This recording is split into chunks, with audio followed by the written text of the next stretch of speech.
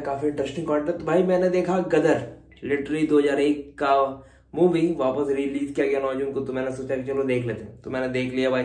तो वहाँ पर अभी ऑफिशियली गदर टू का ट्रीजर नहीं आया है, लेकिन आपको सिनेमा हॉल में गदर टू का ट्रीजर दिखाया गया जस्ट लाइक पोस्ट सीन की तरह गदर टू के वो सीन्स दिखाए गए, जिसमें सनी पाजी लिटरली एक इंटरेस्टिंग वे से आगे बढ़ रहे हैं। देन उनकी कहानी अब आगे फ्रोट कौन हो जाएगी।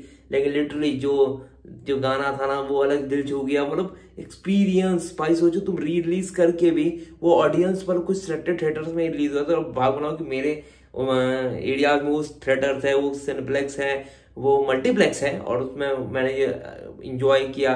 देन मैं बताता हूँ उसके बाद क्या होता है। मतलब जितना भी थिएटर था, आसपास जो भी था, वो ओवरवुड मतलब भाई हाउसफुल लिटरली उस कंटेंट को देखने के लिए 2001 वाले कंटेंट को देखने के लिए लोग इतने पागल हैं। और उसके जो पोस्ट सीन में टीजर दिखा दिया गया ना, वो अलग लेवल की कहानी थी। तो भाई गदर का टू का जो टीजर है ना, एक अलग लेवल की कहानी बना लेकिन जो एक फ्लेवर हम लोग मिस कर दिए ना बिकॉज़ 2001 में जो कंटेंट बनी है, अगर आप उसको अभी दिखा रहे हैं ना एंड उसके बेसिस पे ही आगे आप कंटिन्यू करने वाले, जो लिखा है द कथा कंटिन्यूज तो इवेंचुअली ये दर्शाता है कि आपको इसमें इम्प्रोवाइज करनी होगी। बिकॉज़ अगर सेम थीम आप 2001 वाला अभी लाएँगे ना तो लोग बोर हो जाएँगे।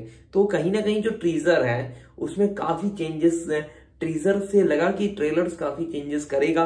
बहुत सारे देखिए आइडियाज़ मिल जाते ना, अब ट्रीजर आया तो इवेंचुअली आइडियाज़ मिल गए। शूटिंग तो हो चुकी है इवेंचुअली लेकिन उसमें पोस्ट क्रेडिट पोस्ट प्रोडक्शन इसको चेंज किया जाएगा। लेकिन काफ़ी इंटरेस्टिंग बात है कि जो गदर वन का फ्लेवर है ना, वो टू में आएगा तभी।